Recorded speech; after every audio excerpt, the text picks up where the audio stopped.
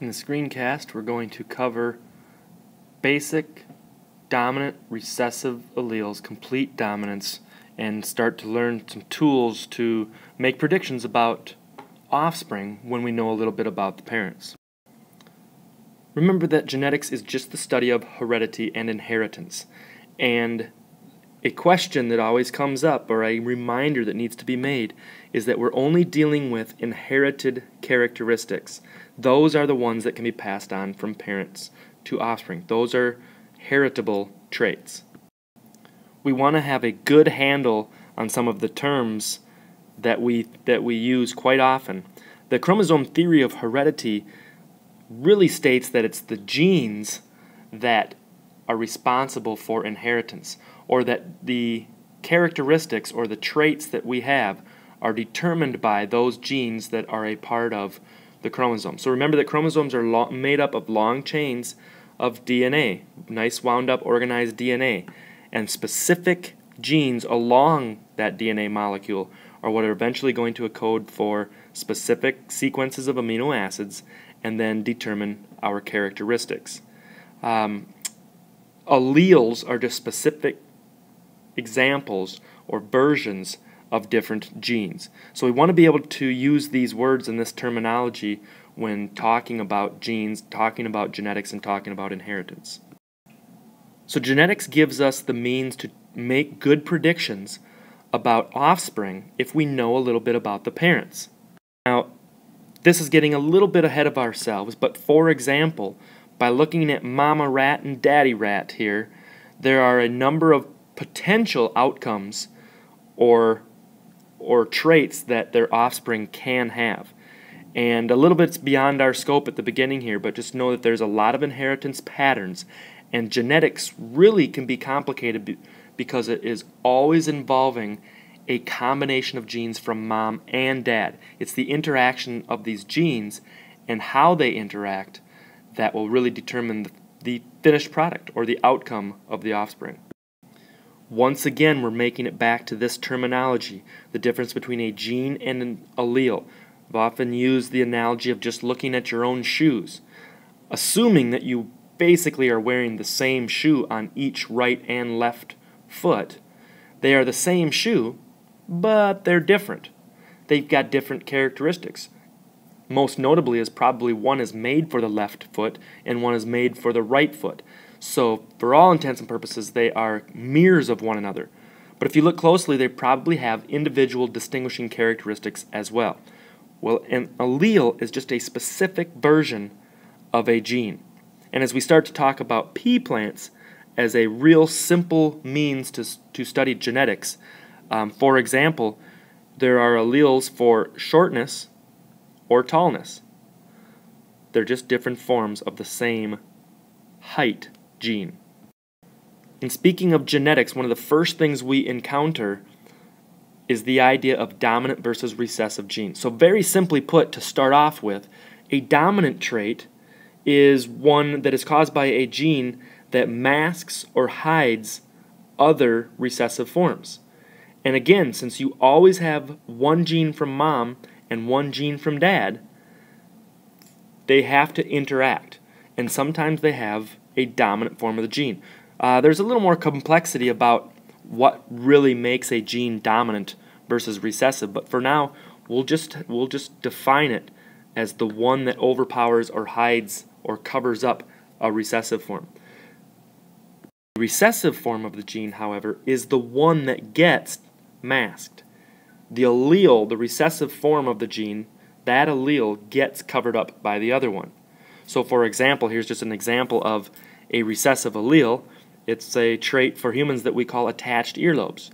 Instead of having a free earlobe that kind of dangles from the side of the of the side of the face, a an attached earlobe attaches straight across to the skin of the face. So recessive traits, one thing to bring up now is that they are only going to be shown when two recessives are inherited. So in other words, a recessive from mom and a recessive from dad are inherited. Because if you do inherit a dominant form of the gene, then the dominant form definitely will be expressed. So we said we were going to use pea plants as a model or an introduction for simple genes and simple genetic inheritance. So this guy right here named Gregor Mendel, he's referred to as the father of genetics by a lot of sources, often referred to as the father of genetics. He just happened to be an individual that uh, also was a gardener and he just started basically started noticing these real predictable and steady patterns when he would cross uh, cross pollinate pea plants with slightly different characteristics. So we'll come back to the pea plants in a minute, but first some reminders of how we're going to use the information to determine offspring if we know a little bit about the parents. Well, there's a couple things that we need to do, and we'll explain this a little bit more in more detail in a few slides. But first, you have to determine what characteristics are actually dominant and which ones are recessive. And secondly, we'll then come up with a letter to actually represent the allele uh, for its dominance or recessiveness. So we just said we were going to use letters to represent genes. Well, there's two more terms that we need to know and need to be able to use. And if you can use these words, you're going to really, you're really going to be able to grasp uh, genetics and be able to solve genetic problems in the future. The first one is genotype. Um, in order to describe what a genotype is, I often take the three syllables and I put them in reverse order. Instead of genotype, I say type O gene, and that's really what a genotype represents. It is the combination of the actual alleles or the or the gene itself. We aren't talking about the characteristic. For example, we aren't talking about the color of eyes. We're talking about the genes that determine eye color. And again, we use letters. We'll show you more about how we use letters and how we determine what the letters are. But for example, the capital B, capital B, or capital B, lowercase b, those are representing the genes for brown eyes. You don't have a couple of B's on your face.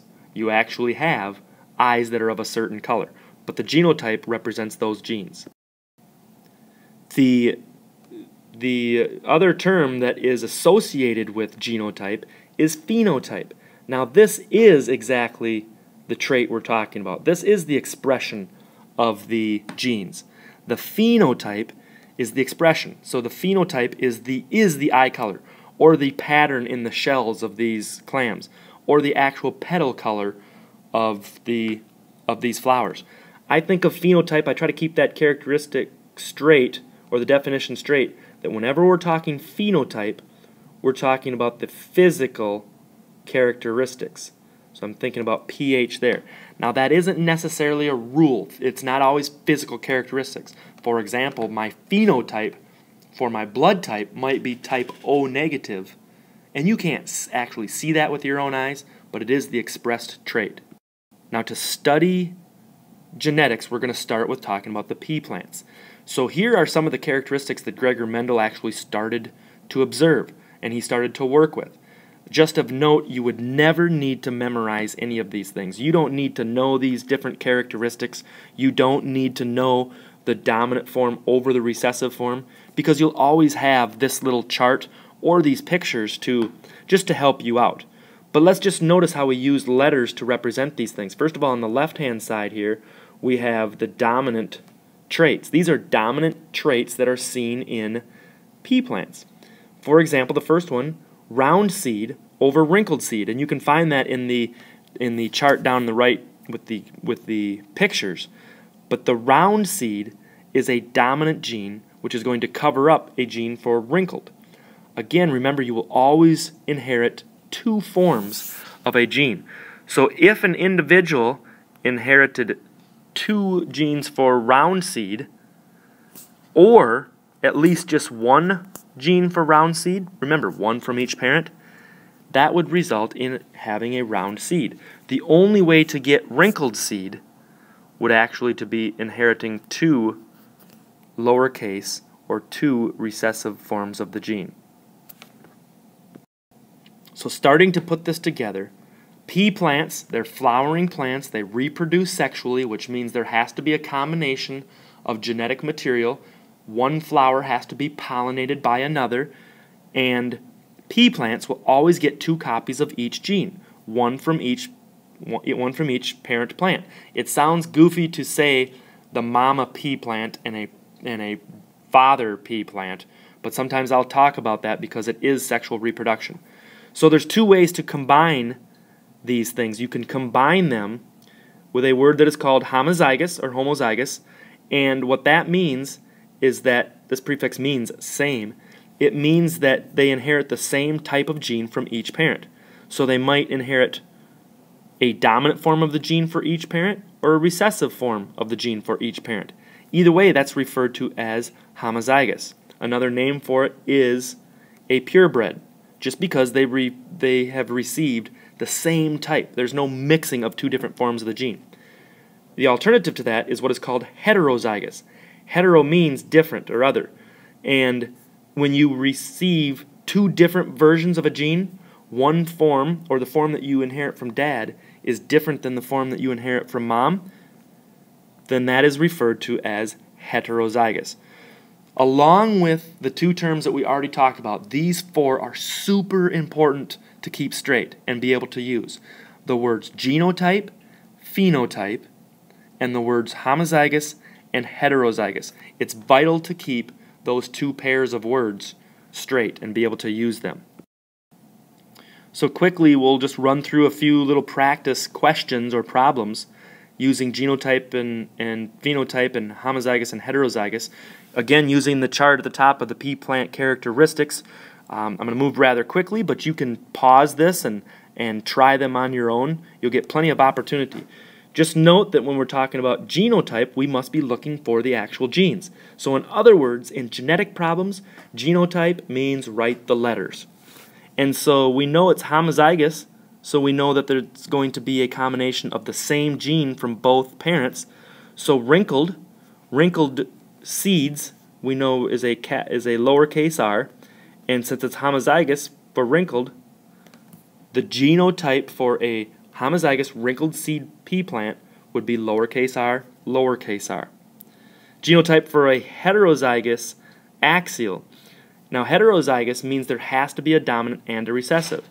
So, so heterozygous axial flower, axial is a dominant, so we know that it's going to be capital A for axial, and it will be lowercase a, which is a gene for terminal, but it's recessive. There's heterozygous. The genotype for a pure, for a pure green pod seed plant. Pure green is the same as homozygous, so the green pod is a capital G, capital G. Genotype for a hybrid. Hybrid is another name for heterozygous heterozygous tall. One capital from one parent and one lowercase from the other parent. So in other words, that it inherited a tall gene or tall allele from one parent and a short allele from the other parent.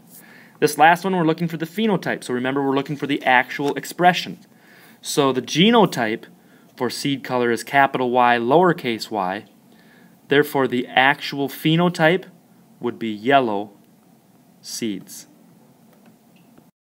So here's a typical problem.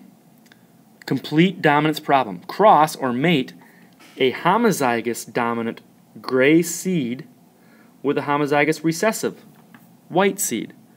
So one parent, homozygous gray, one parent would be homozygous dominant, one would be homozygous recessive, the white form of that. There's the genotypes. So here we're introducing for the first time what's called a Punnett square.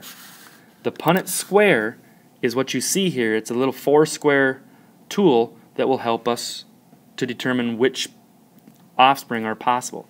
So alleles, remember, will segregate when sperm or egg cells are made in meiosis. So here is one parent, this is the other. So watch what I'm going to do with these genes. This parent I'm going to put those genes over two of the columns and it really doesn't matter for our purposes which is which. The other parent I'm going to put along the side. Now to fill these in, I simply bring this letter down and these ones across. Capital G, little g. This capital G, this lowercase g. G, G. Now, in this possible outcome, when one parent is homozygous dominant and the other is homozygous recessive, the genotypes will all be this. If those were the possible allele combinations from the parents, the only possible offspring combination, because they will get one from each parent, would be capital G, lowercase g. In that case, they will all show 100% the dominant phenotype. Using the same characteristics, we can do another example. So a heterozygous dominant, and I hope you realize that heterozygous dominant is, is redundant. So far with complete dominance, there is no such thing as heterozygous recessive. Because if it was heterozygous, it would have to show the dominant form. So we've got heterozygous gray with a homozygous white. And we'll put that into a Punnett square. Again, putting one parent across the top and one parent across the side, we can now combine these again. Remember what this really represents, and I'll do this for effect. This represents the possible genes in those sex cells and the possible genes in these sex cells, or gametes. So this possible combination, if we fill out this Punnett square, will give us this possible outcome. So for the genotype, 50% would be this, and 50% would be this. Now remember that this is only used for making predictions. There are no guarantees. So this is only for making predictions. It is predicted that 50% of the time, or in other words, a 1 in 2 chance, that they would have a capital G lowercase g. And if these were the phenotypes, the same type, there'd be a 50% chance of being gray and 50% chance of being white. This last example, I'm just going to walk through it and not say anything. You can just kind of try to quiz yourself as we go.